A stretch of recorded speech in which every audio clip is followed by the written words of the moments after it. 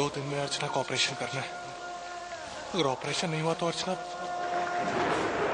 नहीं नहीं। अर्चना को कुछ नहीं हो सकता। मैं हर हाल में पैसे जमा करके रहूँगा। मेरा बच्चा सही सलामत इस दुनिया में आकर रहेगा। एक्सक्यूज मी सर मैं सतीश की बीवी वर्षा। क्या मैं उनसे प्लीज़ मिल सकती हूँ? नहीं मिल सकती। अभी उस पर लगे हुए चार्जेस क्लियर नहीं हुए हैं। एक दो दिन में उसकी तहकीकात पूरी हो जाएगी। तब हम उसे घर भेज देंगे। तब आप उससे अच्छी तरह से मिल लीजिएगा। लेकिन सर वो जिस दिन से गिरफ़्तार हुए हैं उस दिन से लेकर आज तक मैं उनसे एक बार भी नहीं मिली हूँ। क्या मैं प्लीज़ एक बार सिर्फ़ मिल सकती हूँ? मैडम ये कस्टम ऑफ़िस है। कोई मंदिर नहीं है। जब आपने जी चाह देखने चले आए।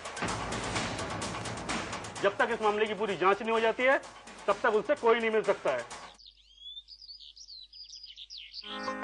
नमस्ते सर। अरे मानव तुम? नमस्ते नमस्ते। बहुत दिनों के बाद आना हुआ। हाँ सर एक ज़रूरी काम है आपसे। हाँ हाँ बोलो ना। सर प्लीज़ ना मत कहिएगा सर बहुत ज़रूरी है सर। अरे तुम बोलो तो सही। सर मुझे दो लाख रुपए की ज़रूरत है सर। दो लाख? अरे यार दो लाख तो तुम ऐसा कह रहे हो जैसे दो सौ रुपये मांग रहे हो मुझसे। ना भाई ना। इतनी बड़ी रकम मैं तुम्हें नहीं दे सकता।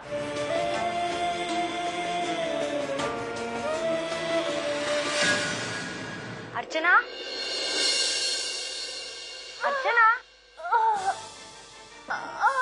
अर्चना? अर्चना? अर्चना फिर से पेट में दर्द हो रहा है। अर्चना अर्चना घर में कोई दवाई है? अच्छा सुनो मैं काम करती हूँ डॉक्टर को बुलाती हूँ ठीक है? रुकना। मानव मानव अच्छा हुआ है। वो अर्चना क्या हुआ अर्चना को? देखो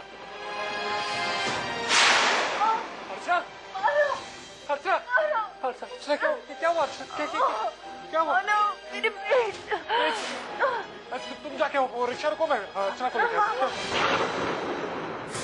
ऑटो ऑटो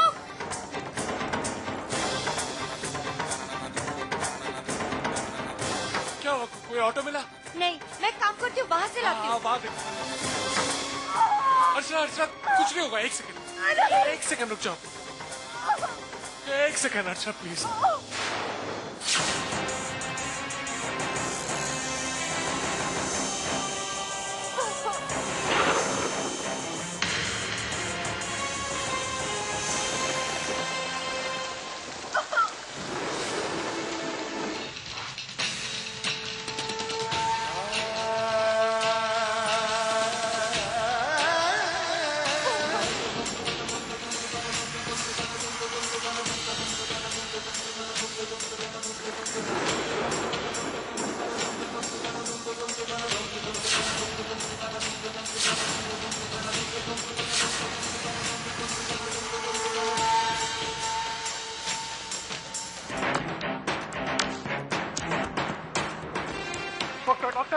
मानव क्या हुआ? के पेट में कब से दर्द हो रहा है? पता नहीं क्या हो गया। सिस्टर तुरंत एडमिट करो। जल्दी जाइए। मानव? देखो मुझे तुमसे बात करनी है। अर्चना की कंडीशन बहुत क्रिटिकल है। मुझे लगता है कि उसके ऑपरेशन का समय आ गया है। अगर अर्चना और बच्चे की जान बचानी है तो ये करना ही होगा। तुम जाकर पैसे का इंतज़ाम कर।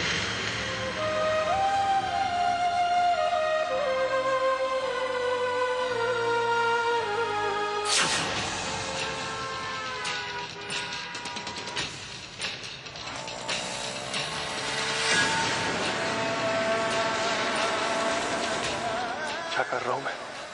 कहाँ जा रहा हूँ? इस तरह वहाँ से यहाँ यहाँ से वहाँ घूमकर कुछ होने वाला नहीं। पैसों का इंतज़ाम करना है और अब वो भी जल्द से जल्द। कहाँ जाऊँ, किससे पैसे मांगू? कौन है जो इस वक्त मेरी मदद कर सकता है? एक तरफ़ वक्त हाथ से निकलता जा रहा है जिसे मैं रोक नहीं सकता और दूसरी तरफ़ अर्चना की हालत लगातार बिगड़ती जा रही है।